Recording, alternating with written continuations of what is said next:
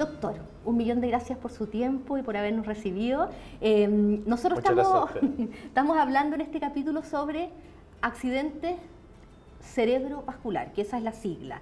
A propósito de que hace unas semanas atrás en el diario apareció un nuevo hallazgo, más bien un nuevo tratamiento que se está implementando, nos gustaría que nos explicara ¿Qué significa un accidente cerebrovascular? Lo primero es que no nos gusta mucho hablar de accidente porque pareciera que fuera algo accidental, como que yo voy cruzando la calle y me atropellan.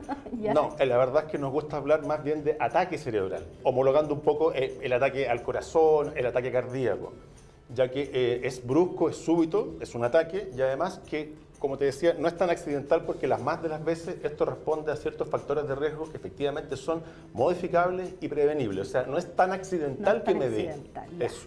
¿Y cuáles serían las señales más claras o los síntomas a los que hay que ponerle ojo? Porque por ejemplo, eh, los dolores de cabeza. Yo en lo personal sufro de muchos dolores de cabeza y siempre me pasa que digo, ¿hasta dónde es normal? Hay dos tipos de ataques cerebrales fundamentalmente, que es uno cuando se ocluye una arteria, sucede un infarto cerebral, que es lo que se conoce como trombosis. Ah, perfecto. O que se reviente una arteria dentro del cerebro, y eso es lo que llamamos una hemorragia cerebral o que la gente conoce como derrame cerebral. Ambos comparten eh, varios síntomas comunes y es fundamentalmente el carácter súbito, la pérdida de una función neurológica muy brusca.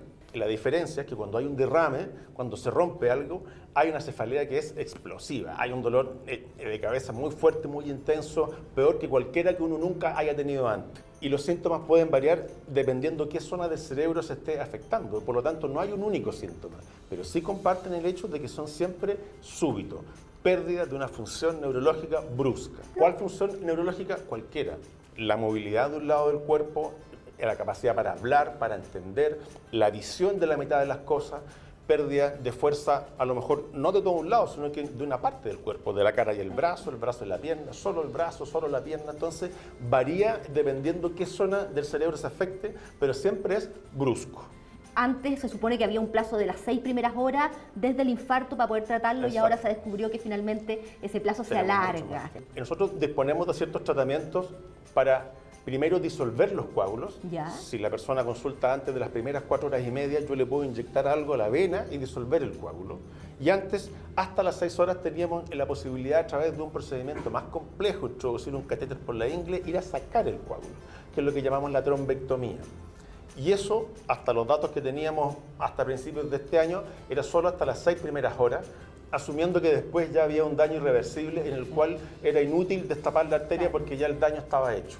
Hoy día sabemos que no, y ese es el gran descubrimiento. Hoy día sabemos que hay pacientes, no todos, pero hay pacientes que logran conservar una gran zona de tejido cerebral que todavía es salvable.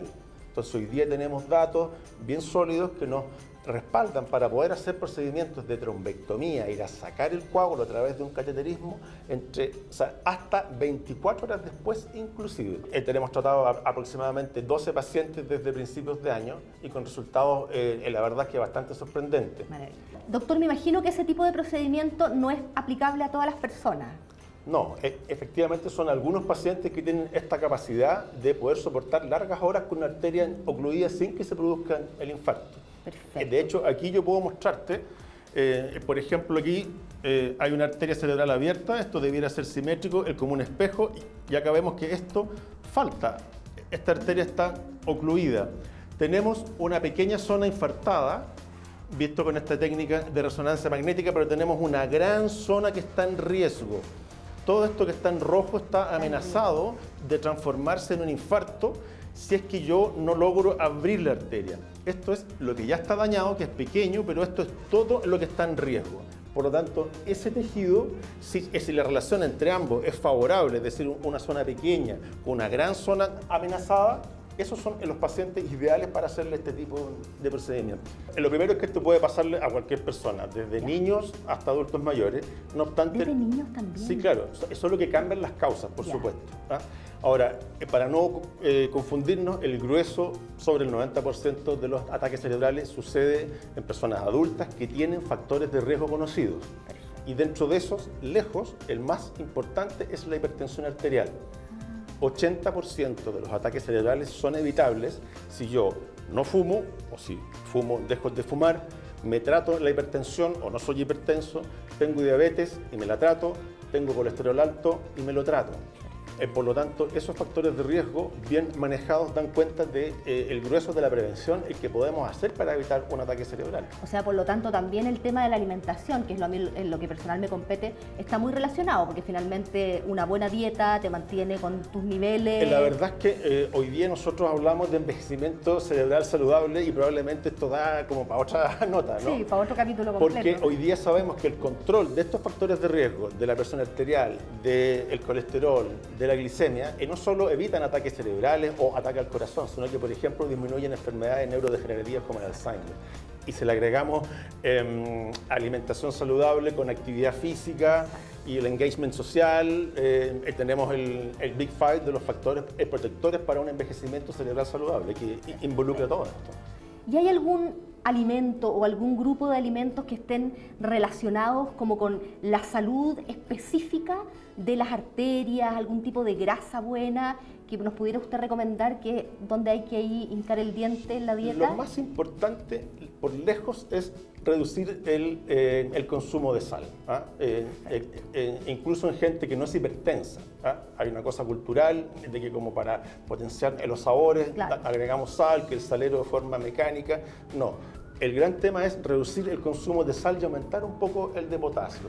Eso favorece mucho lo que llamamos el endotelio, que es la recubierta interna de las arterias y la deja mucho más saludable.